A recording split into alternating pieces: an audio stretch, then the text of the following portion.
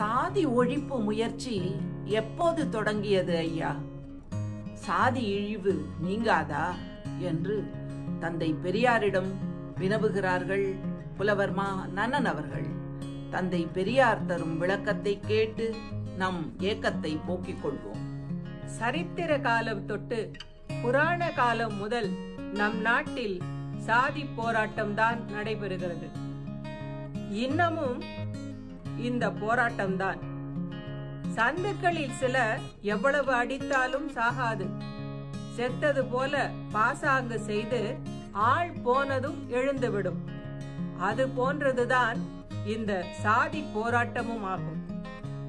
ஒருவன் பிறக்கும் போதே உயர் சாதிக்காரனாகிறான் மற்றொருவன் கீழ் சாதிக்காரனாகிறான்.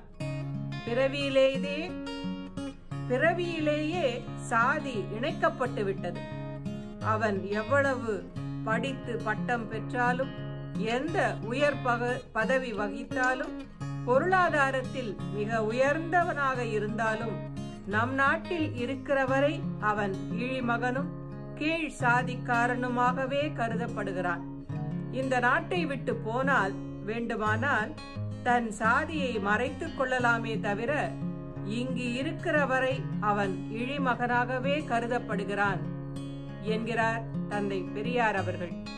சாதி போராட்டம் என்பது தொடர்ந்து கொண்டே இருக்கிறது.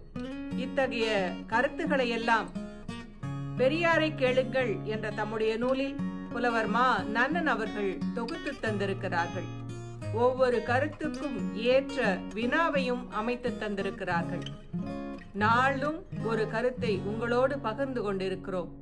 நீங்களும் உங்கள் உறவுக்கும் நட்புக்கும் சிறப்பாக இளைஞர்களுக்கும் இக்கருத்துக்களை கொண்டு சேருங்கள். இப்பதிவு பற்றிய தங்களின் கருத்து என்ன என்பதை கருத்துரை பகுதியில் பதிவிட்டு உதவுங்கள். மானமும் அறிவும் மனிதர்க்கு அழகு. மனிதனை மனிதனாக்குவோம். நன்றி. நாளை சந்திப்போம்.